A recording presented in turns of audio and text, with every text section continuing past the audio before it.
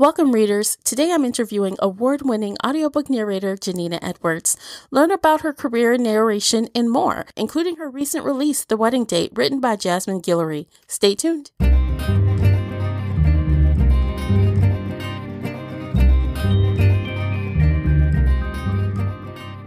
Everyone, I'm your host, Tamara Ford, and thank you for downloading this week's book chat here on the Shelf Addiction Podcast. Every week we get bookish with roundtable book discussions, five minute shelf bites, interviews, and more. Subscribe to our newsletter so you don't miss out on any of this book nerd awesomeness. If you'd like to email in feedback or questions, feel free to reach out to me at info at shelfaddiction.com or call in and leave an internet voice message via SpeakPipe. You can also find me on Twitter and Instagram at Shelf Addiction. The links for everything related to today's episode, including Janina's social media links, are below in the show notes. If you know someone who may enjoy this episode, please share it with them today.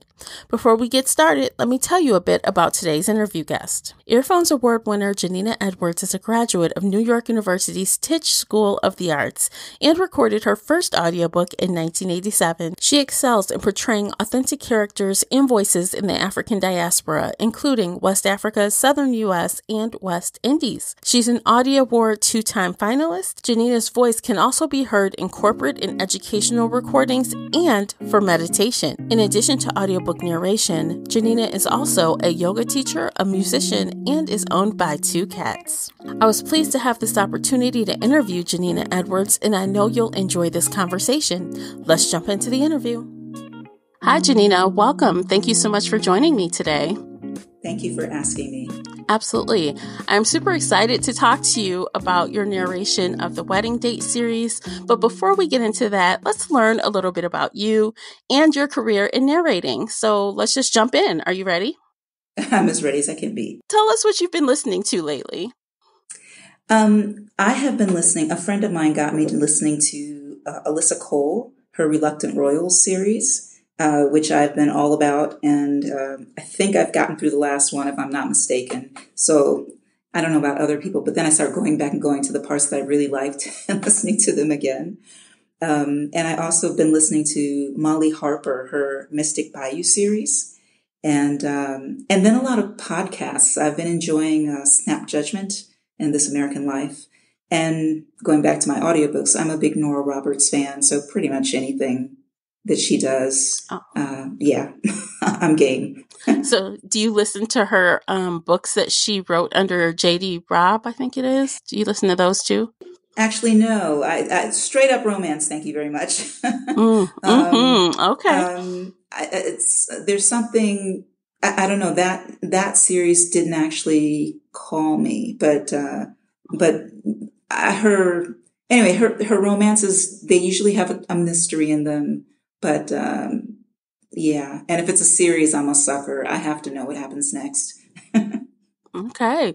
Well, you mentioned the Alyssa Cole uh, series. It's um, funny. I actually had an interview that went live with her last month. So if you're curious about her talking about those books, you should check it out. I will. So obviously, you like to listen to audiobooks for fun. So do you have any narrators that you enjoy most listening to as you know as a listener? Well amanda ronconi does molly harper's books and or as far as i can tell she's done all of them. And i really like her a lot. Um, she seems to have that snarky thing down really well. Um, she's just a lot of fun. And she's she ends up doing a lot of accents and such that uh, i just kind of really respect how she what she adds to it.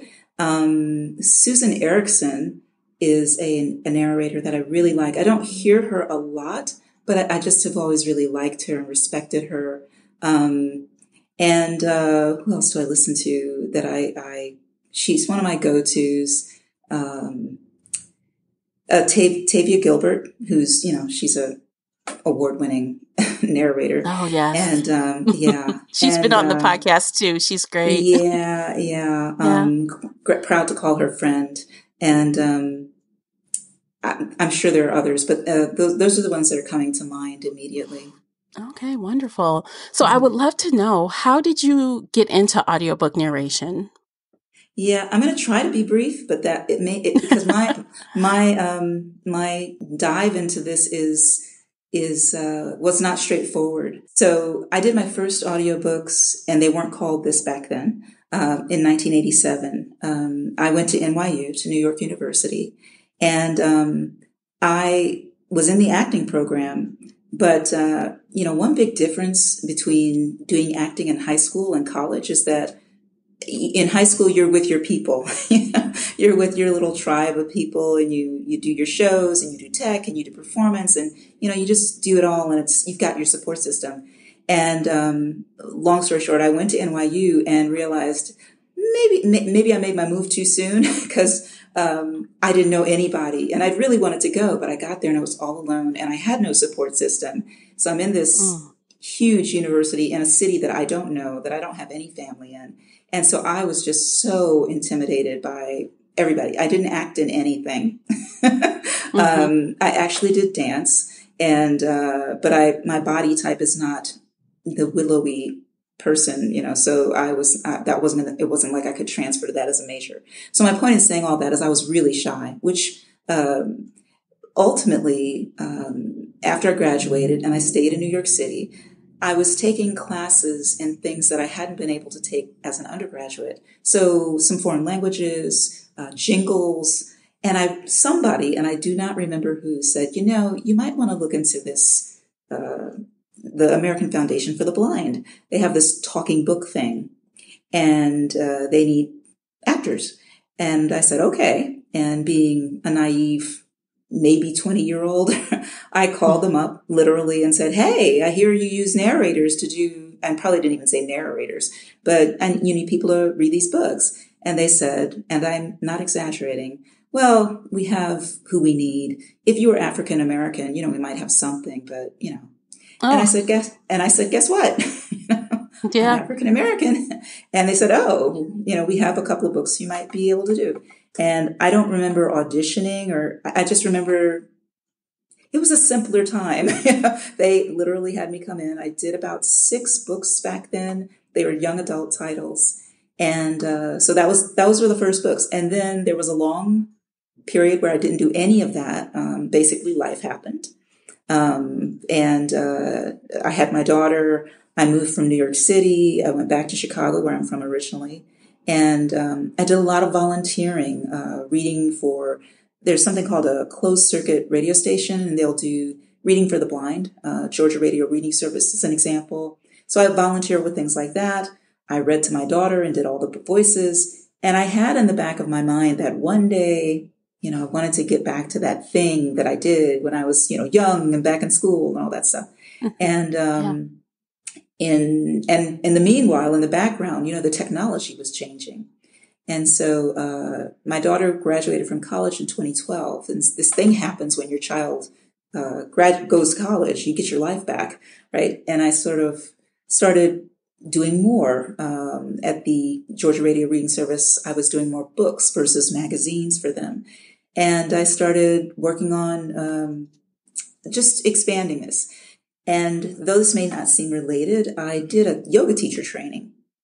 And one thing that can happen when you do a, a, deeper yoga teacher training, as opposed to some that are just like do all the poses, is it really does start to change you. And I started looking at those intentions that I had that I was not actually realizing. And for me, that one of those things was this. Long story short, I started working in earnest on getting a demo made.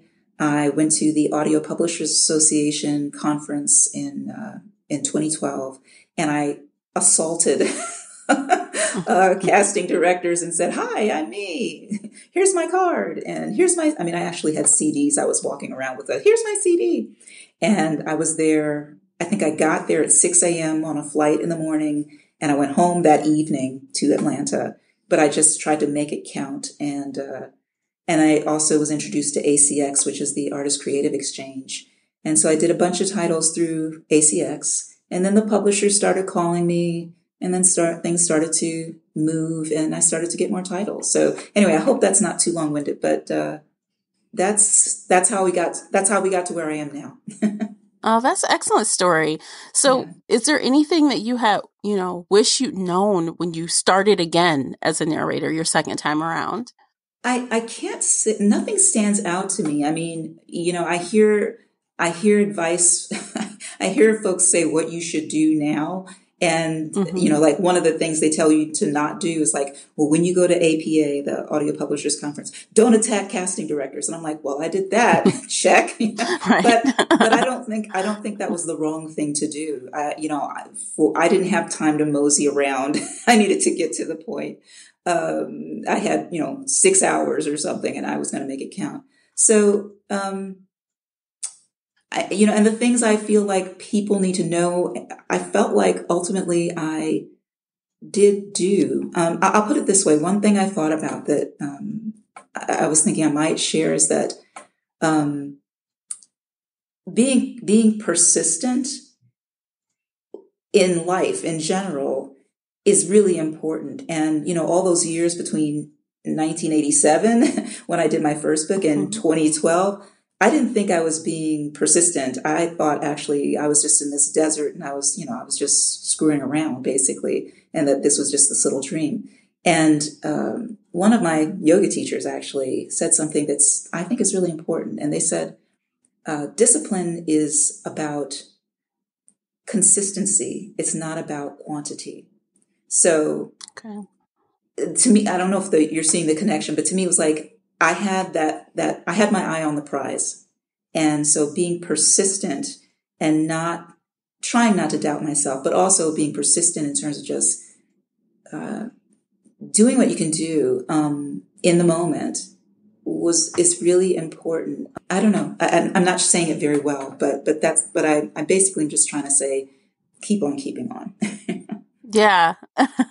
that's that's true. And you know, and that's that applies like in every part of life mm-hmm. really. So is there one thing that stands out in your mind is like a really big challenge that you had um, overcome as a narrator?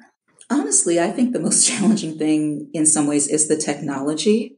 Um, I uh, when you you know when you work directly with publishers, there's a some publishers many, many, many times you're in your home or wherever you record, you're in a booth by yourself and mm-hmm. you have to handle the technology. And some people use a, a software called Pro Tools. I use a, a, a software called Adobe Audition because when I opened Pro Tools, uh, when I opened the software, it scared the crap out of me. It's just like there's all these bells and whistles, and I'm just like, oh my god, I can't, can't deal with this, and I just turn it off. Adobe Audition, you open it, it just looks, it just looks more user friendly, and so I can get intimidated by the technology. Um, even you know, you're. Uh, uh, what when you know when computers first came out, they always gave you like these these mammoth uh, instruction manuals, which it's intimidating to read, but at least you had the information. Now, um,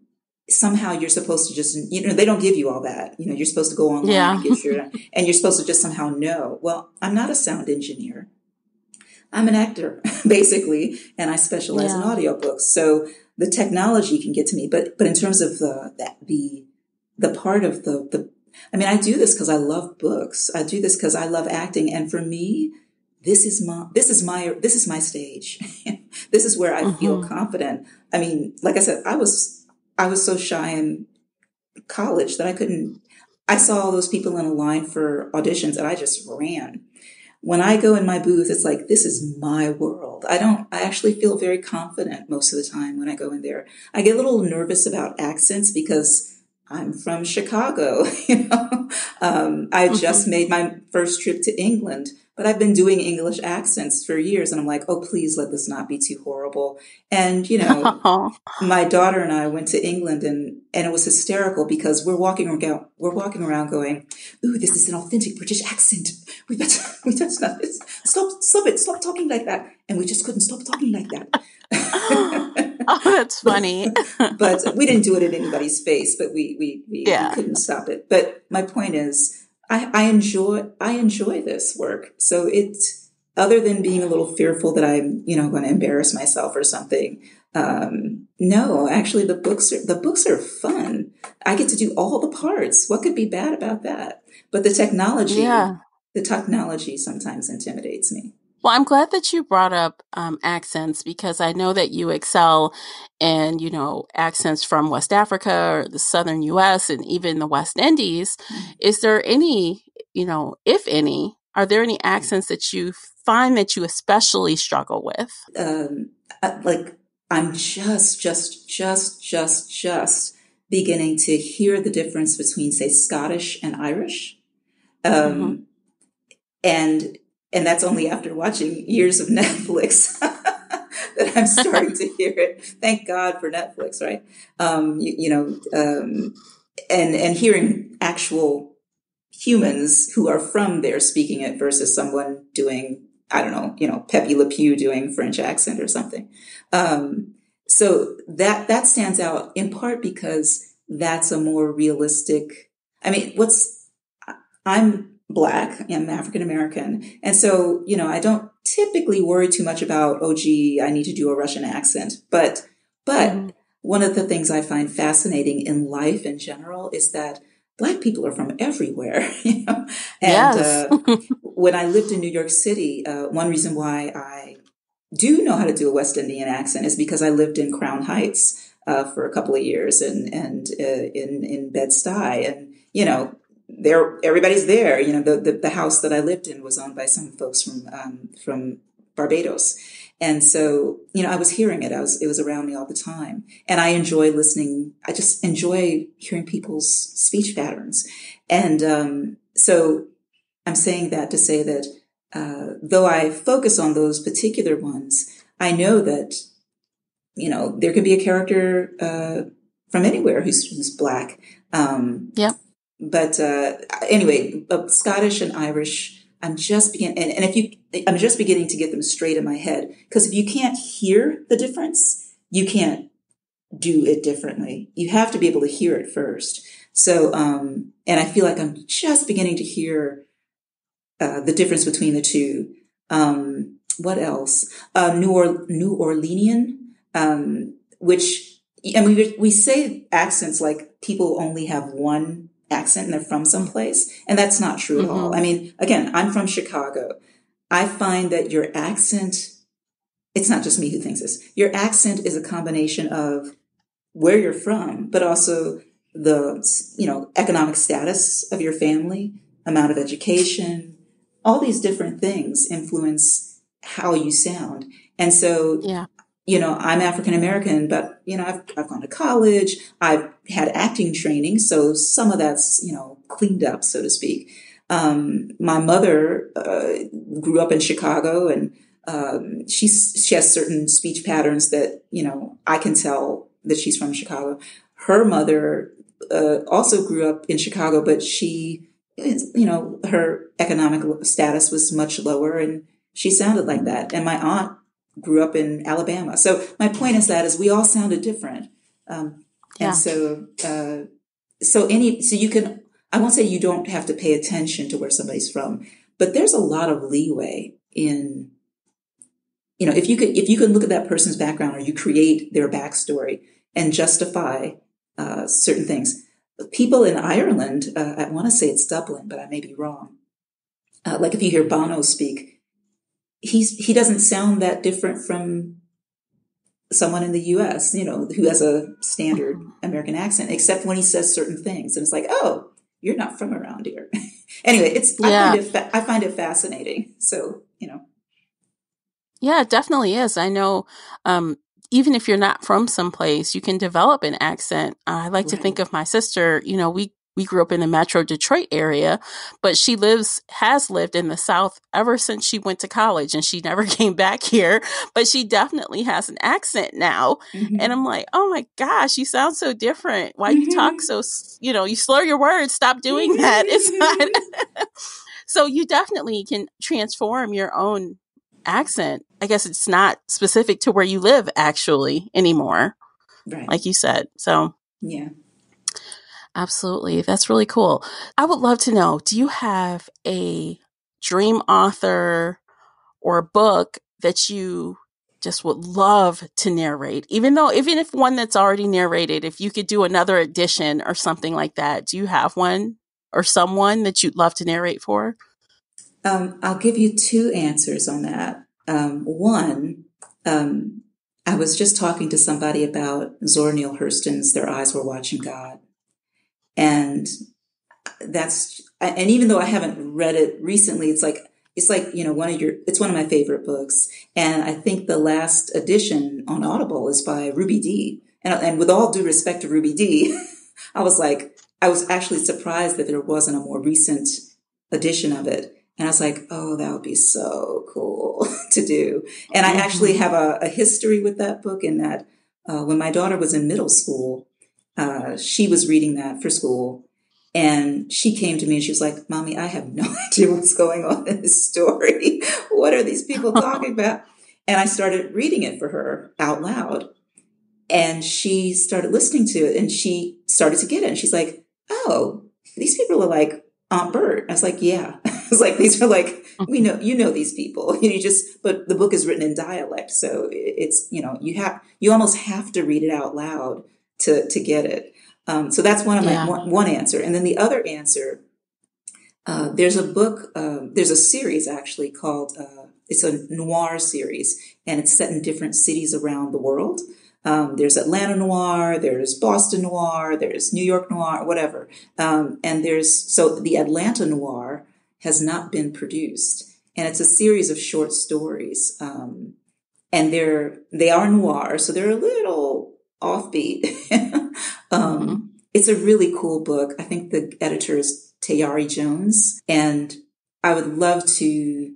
Actually, what I'd love to do is produce it because I don't. I, it's one where I don't think I would be the right person to do all of the stories.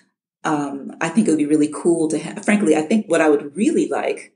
I'm just telling you my whole dream here. okay. Um, it's Atlanta Noir. It's by Atlanta authors. And I would love to do it with Atlanta narrators. Um, and so, you know, there's a bunch of us here and uh, we're good. and so I'd love to, you know, like have it be this by us for us kind of thing where uh, Atlanta narrators picked a different, each did, picked a different story and we put that together and put it out there. It's my little dream. It could happen. oh, that's so awesome. Let's put it in the universe. Let's put it out there. It can happen. Ding. That's awesome. Yes. it's out there. exactly. Oh, that's wonderful. Okay, today we are going to be talking about the Wedding Date series by Jasmine Guillory. Did I pronounce her last name right? I know I you know. right. It's I believe it's Guillory. Oh, thank mm-hmm. you. I appreciate that. Mm-hmm. so before we talk about that, let's hear a quick snippet and then we will come back and talk about what we just heard. Okay. She spied the cheese and crackers in the corner of her purse tucked away from the heavy champagne bottle. Just then, the elevator stopped with a jerk. A second later, the lights went out. What's going on? she said out loud to herself. A few seconds later, a dim light came on, but the elevator stayed motionless. She looked up and around and jumped to see a man with a suitcase in the opposite corner of the elevator. Were you here this whole time? she asked. What am I, a genie? He grinned back at her. I guess you don't really look like a genie. He was a tall, white guy with tanned skin, rumpled dark brown hair, and about a day's worth of scruff where a beard would be. She had a sudden urge to rub her hand on his cheek to see how prickly it was. How exactly had she missed seeing this man get on the elevator with her? Thank you, I think, but isn't that what a genie would say? he asked. You're not claustrophobic, are you? Um, I don't think so. Why? Were you going to bust us out of here with your genie powers if I said I was? He laughed.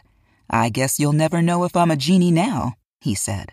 Tell me a little bit about what we just heard in the clip. What's going on there? All right. So in the clip, it's actually the very first uh, scene with uh, Drew and Alexa uh, where they meet and it's a meet cute. I mean, uh, they meet in an elevator. She's going upstairs at, an, at a hotel to meet her sister, who she's had a, a somewhat difficult relationship with, and um, he's at, he happens to be in the elevator, and she doesn't notice him at first in the back. He's white, she's black. They're both, you know, um, he's a doctor. She's the uh, what is it? What is the title? Um, chief of staff for the mayor in uh, San Francisco, I think, uh, or Oakland. I am sorry, I can't remember which it is right now. Um, and so they meet and they get stuck in the elevator together. That's the meet cute part. And so they start Aww. to get to know each other. Exactly. They start to get to know each other. and it turns out that he is there for a wedding. And uh, actually, I guess it's anyway. He's there to attend a wedding or, or for the for the um, engagement party, and he needs a date because he he's in a difficult situation. He used to date the bride to be, and he's best friends of the of the um, groom, and he's coming there alone, and so he basically needs a, a foil. And he asks her after they meet in the elevator and they're getting along so well. He asks her to be his date and thus the craziness ensues. And uh, they go from this fake couple to through the course of the story to being a real couple. And you know, this is why we have romantic comedies. um, yeah, sounds like it because he's got a lot going on there. he definitely does. Um, I really like. I, I've really uh, enjoyed doing Jasmine Guillory's books because her books have a sense of humor so, mm-hmm. you know, with romances, and I am, I am, I'm not just a, a member, I'm a fan. You, know? um, mm-hmm.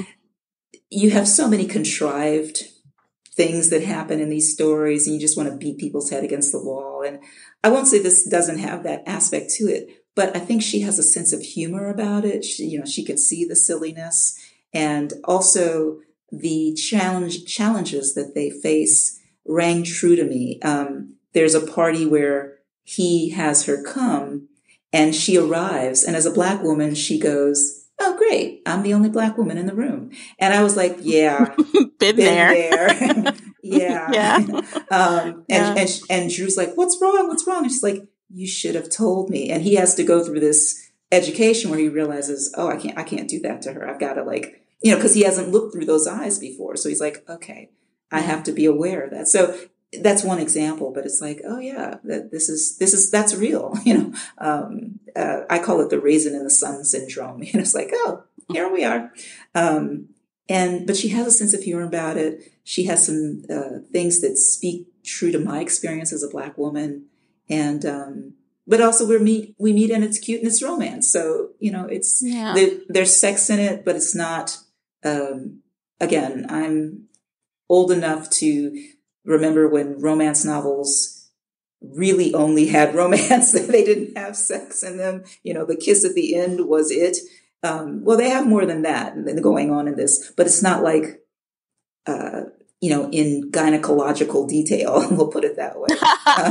that's that's good. So you think? Do you think it's headphones free appropriate, or should you put the headphones on just in oh, case?